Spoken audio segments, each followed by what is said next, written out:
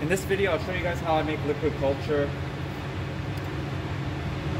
I got some distilled bottled water, some 250 milliliter sterilized mason jars with uh, wide mouth lids, and most importantly, a measuring cup or a scale. I like to do uh, about a 4% weight of simple sugar. The simple sugar I'm using is Karo. It's corn syrup. Ideally, you want to use something that's clear. Uh, people do use sucrose, which is sugar cane. That works, but some people prefer not to use that because then it's bleached. So we take our jar, turn on our scale, remove the lids, zero it.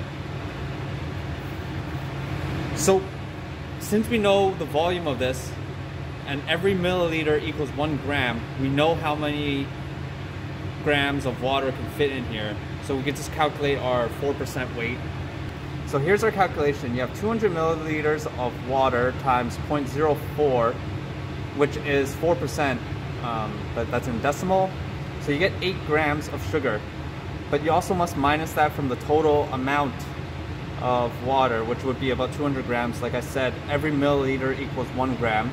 So you have 200 grams minus 8. So you have 192 grams of water and 8 grams of simple sugar. So that gives you 200 milliliters in total with a 4% weight solution of sugar. So we're gonna put go ahead and put eight grams in. That's good. Now we're gonna pour our water.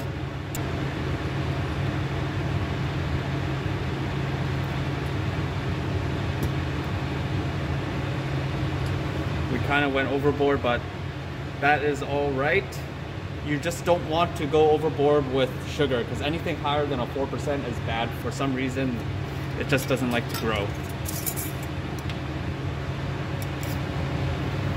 So we close it up and just give it a shake. You want to label these with liquid culture because anytime you make a concoction of in the lab setting, you always want to have labels. Because you never know if someone's going to open this and drink it or, I don't know, eat it like uh, like I said, you always want to keep uh, best practices. Okay, now that it's boiling, we're going to put in our simple sugar solution or liquid culture. I like to reuse old jars as well.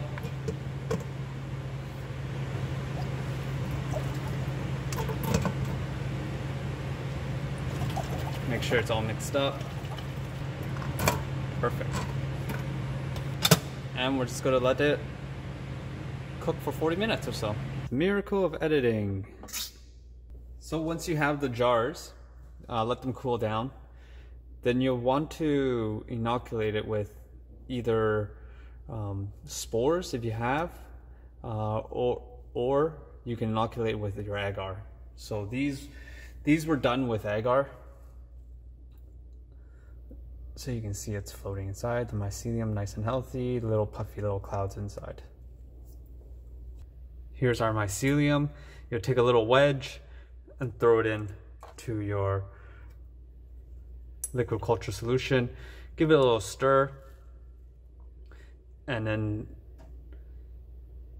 you'll start seeing growth.